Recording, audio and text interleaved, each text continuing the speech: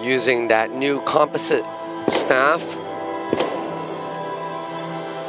The height requirements of the weapon being the height of the athlete. That's an outside kick into a bow stance, followed by front jump kick, aerial, inside 360, split landing. Outside 360 into a horse stance landing.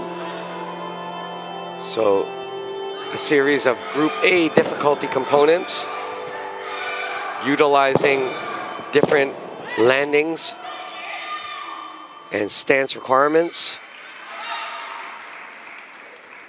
Horizontal swing, floor thrash, bow stance, position, trying to pick up some speed. Little, little uh, hesitation there where her staff didn't look like it was a part of her choreography. Not sure if the judges will catch that. She actually uh, hit the floor upon her reversal of that swing.